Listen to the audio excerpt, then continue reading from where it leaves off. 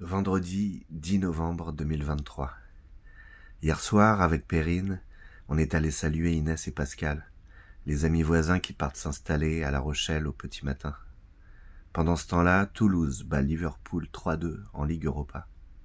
Et puis on rentre à la maison, on dépose le petit dans son lit, on s'assoit une heure au salon, on parle peinture en musique en écoutant des trios, Perrine m'encourage à prendre ma table lumineuse et à partir à l'aventure, peu importe où, aux quatre coins du monde s'il le faut, jouer, donner, faire danser la peinture sur les contrebasses, les batteries, les pianos. Ce matin, à l'atelier, j'attends David. Il vient voir les esquisses de Suzanne Langlaine, une des premières étoiles ballerines du tennis. Je suis dans le fauteuil, en face de moi sur les tréteaux, une toile chargée de coulures, raconte un trio, je me prépare à nourrir le fond au pinceau d'une fine couche d'aquarelle d'un bleu profond. Avant de m'élancer, je m'ancre dans le présent, être l'instant, épouser tout le sens maintenant et respirer à l'infini. Samedi, 6 heures du matin, facile d'être en paix dans l'atelier, suffit juste d'écouter le jour se lever. Je continue sur ma rampe de lancement, le travail sur papier, défricher le trait libre et traverser en silence le bruit qui me sépare du présent, emprunter la passerelle naturelle du papier jusqu'à la toile. Hier soir j'ai fait des tests de coulure noire sur les pavés, brillants ou satinés, question de densité. C'est pas concluant, trop contracté, ça manque de mouvement, on peut faire plus vivant. Je vais essayer à l'encre de Chine, pinceau fin, écrire l'amour rupestre, la danse de l'être au son d'origine. Reprendre en blanc mat, repeindre l'élan des corps de l'ange qu'emporte Enoch.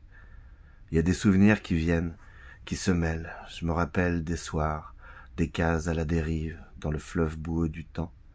Quand j'essayais de forcer à tout prix les portes de l'instant, j'y étais presque, J'entendais des rires d'enfants, et juste au-dessus, des voix douces qui disaient Il n'est pas prêt, et leurs grandes mains qui me couvraient la tête et me remettaient dans la boîte.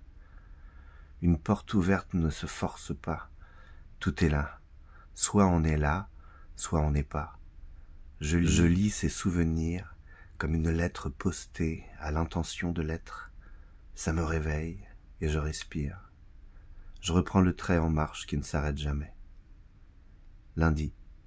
Les peintures du week-end ont séché, l'eau colorée stabilisée dans les vallées des fonds blancs. Toujours ce temps, le matin, début du jour à l'atelier, posé dans le fauteuil, je regarde l'étendue du chantier. Je déplace les supports, trouver l'espace pour que le corps se sente libre de danser, lâcher le trait sur les toiles en cours, et aussi laisser reposer les pavés que Christophe m'a ramenés. Temps de séchage le plus court, peindre une face tous les deux jours. Finalement, c'est le travail préparatoire sur papier qui prend le plus de temps. C'est la mise en condition, la recherche du présent perdu sous les couches de pensée. Finalement, à force de travail, de silence en douceur, le papier trouve la voie, se révèle aussi vivant que la toile.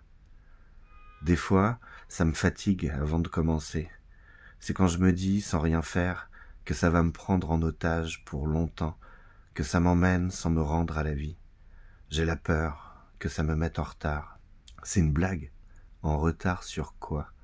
Sur les demandes marchandes d'un monde qui ne me comblera jamais? Et alors Qu'est-ce qu'on cherche au fond? Sous les couches de peur et d'illusion C'est la paix, plus vaste que les conflits. C'est tout l'être uni dans l'expression de la vie. Et c'est déjà là, même quand on ne le voit pas, tout ce qui est délivre tout, même ce qui n'est pas. Je me remets au travail, tout est normal, je suis le silence. Mardi, la série papier avance doucement mais sûrement. Je me balade intérieur, tout se rassemble et la présence vibre la peinture. Ça y est, le temps s'ouvre, ça me laisse être. La respiration trouve le chemin et tout m'aère. L'équilibre est dans la place, la lumière à tous les étages, plus vaste et plus rapide que le bruit de l'ego des pensées. Elle parle et s'installe au fond du cœur. Tout s'allume. Elle fait passerelle partout ailleurs. Ici maintenant est si grand, ça plane pour l'être avec les anges. J'ai repris la peinture d'Enoch. Le trait s'est fait naturellement, en confiance. Tout se rassemble, et la peinture vibre la présence. Je dis, ça monte. C'est comme une pluie inversée, une pluie d'énergie qui te redresse, une pluie paisible attirée par le ciel. Tout à l'heure sur le chemin j'ai regardé les feuilles au fond de la flaque d'eau. Elles étaient calmes dans la fraîcheur du monde. Je les voyais, je voyais tout. Je les sentais, je sentais tout. Et c'était beau. J'ai pas vu le temps passer jusqu'à maintenant. En fait, la seule chose que je ne vois plus, c'est la peur et le temps qui s'écoule. Dans le fauteuil à l'atelier, j'ai du pain sur la planche, du pain qui se multiplie à l'infini. On change de face les pavés, c'est le moment, voir comment la pierre s'exprime, sa manière, et comme on se parle, comme, ça soulage quand, on, écoute. Dimanche, ce matin, en douceur, je traverse la place du marché, j'ai pris mon temps, le jour est là, tranquillement. On se retrouve avec Alberto, on profite d'une éclaircie, d'une table devant les arcades, café allongé, on parle de talent, de sacrifice et de rassemblement. Et voilà l'atelier, ultime chantier, châssis entoilé, posé à peu près à plat, sur des tours de pots de peinture éclatés les uns sur les autres. Joyeux bordel. Tout se passe, bien, tant qu'on... Ah, Tout se passe bien tant qu'on respecte les temps de séchage. C'est drôle. Dans tous ces personnages de coulures noires, de courbures, fruits, des élans de l'instant, ce sont leurs yeux qui sèchent en dernier. Peut-être même qu'ils ne sèchent jamais. C'est toujours mieux pour être, pour accompagner la présence. Mon pinceau le plus fin gorgé d'eau, baigné dans le bassin d'aquarelle blanche, je le danse au-dessus des regards. Il saupoudre des étoiles, perles accidentelles, d'un présent éternel. Christophe m'a ramené deux panneaux de signalisation. Ça ne compte pas ce qu'ils veulent dire, c'est leur silence au fond qui m'inspire, comme un laisser-passer la vie quoi qu'il arrive. Quoi qu'il arrive. Dimanche après-midi, c'est sacré. Je retrouve la maison vers treize heures, Perrine dans son bain, tête relâchée en arrière, ses yeux nagent au ciel de la fenêtre, elle savoure le jour, respire la lumière.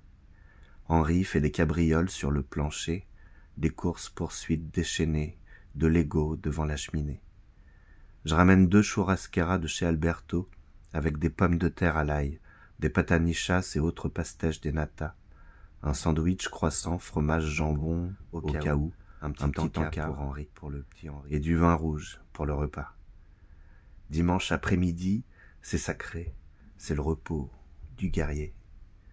Mercredi, Nuit blanche à l'atelier, dans les détails en dentelle de la toile. La radio file en continu, dans les murs et le silence respire dans ma tête. Une vingtaine d'heures de dessins concentrés en traits fins. J'avance dans le blanc, dépasse le flou. Je suis la main sur les chemins, à la découverte des palais, des cités en conscience, des natures et des danses du jardin. Nuit blanche à l'atelier, et puis le jour, sans y penser, à travailler sans fatiguer, le contenu prend forme, le paradis s'éternise. Je vais chercher Henri à l'école, un bon bain, et je m'endors. Tous les tracés, sous les paupières, monde mélangé, rassemblé dans le sommeil. Au réveil, c'est presque la même. Le corps tire un peu sur la corde, sonne les cloches du lever. C'est donc mercredi, la journée du petit. Je l'emmène au tennis. Il, court, partout, pas très à l'écoute du professeur, et ça m'agace qu'il fasse le dinosaure au lieu de travailler son coup droit. Le prof le remet en place. Henri regarde le plafond, puis ses doigts, et comme souvent tourne la tête et court dans l'ailleurs, à l'autre bout du cours, suivre son papillon imaginaire. À la maison, je reprends le travail, sur la lourde table. Je t'écris, te rencontrer, me débarbouiller la, langue de la main, qui ose plonger dans les papiers, 216 grammes, carrés, 30 cm sur 30 cm, encre de Chine, accompagner les douceurs aériennes du pinceau avec des structures détaillées au stylo, essayer, recommencer, continuer, enlever les couches du futur et du passé dans la clarté du présent, se mettre au diapason de l'être. Vendredi. Christophe vient me chercher. On met toutes les dernières peintures dans sa voiture, c'est l'accrochage pour la nouvelle expo à Garches. Un mois après celle de Versailles, ça fait court, mais le travail est là. Les jours si denses de vie, d'atelier, d'amour en famille et les nuits blanches, chargées d'intime silence, m'ont porté jusqu'ici. Parking souterrain de Garches, sous la galerie, maintenant remonter l'étoile, les pavés, les papiers à la surface. J'ai le genou, gauche, qui, tourne, un peu dans l'escalier. Dans l'escalier. Le sang brûle. Le sang brûle dans les bras. Puis on appelle un Et on appelle un serrurier parce que le verrou de la porte est bloqué. Il faut percer. J'ai vidé la voiture. La galerie s'ouvre enfin. Tout est prêt à être accroché au mur blanc. Juste avant, juste maintenant. Je me prends un café sur la place à deux pas. Je connaissais pas ce coin de Garches. Très sympa. De la musique tourne dans l'air. Chanson douce d'un crooner américain des années soixante. Je me prépare au calme, à l'accrochage du travail tout à l'heure. Je n'ai plus de bruit en moi. Je pourrais très bien oublier où je suis et pourquoi, comment je m'appelle, etc. C'est le café au bout du tunnel, juste, avant, d'exposer le travail, à Garches, du 25 novembre au 13 janvier, Galerie Vieuselange, 13 bis, place Saint-Louis. Le soleil vient, traverse la terrasse du bistrot. Aujourd'hui on est le 24. Bon anniversaire Perrine. Samedi, écrire comme on dessine, Question de rythme et de courbe. Devant l'arcade, place du marché, Versailles. Je sommeille encore un peu. Des chœurs émergent, accordéon, chant populaire entraînant. Les gens se rapprochent, applaudissent. Et ça, reprend. De la, joie manifeste ce matin. Des enfants, des moufles et des bonnets. Des mamans, attroupement de manteaux. Des mains devant, devant la bouche font des geysers de souffle chaud qui s'enfument dans l'air froid. Au milieu des premiers sapins déjà prêts pour les Noëls au coin du feu, ça chante bien, c'est heureux. Un pigeon s'envole au pied de l'arbre à côté de ma table, une branche au bec. Je le vois disparaître au ciel, vers son nid caché. Vendredi 1er décembre, c'est le vernissage. Il y a de la joie dans les corps et les visages. La galerie est allumée, l'étoile nous accompagne. Ça parle décontracté, ça fait du bien. Lueur chaleureuse dans la nuit de Garches. Une soirée en douceur à l'approche de Noël. Et samedi matin, là, maintenant, à l'atelier, ça ne s'arrête jamais. Dans le fauteuil, devant le chevalet, je t'écris le journal infini.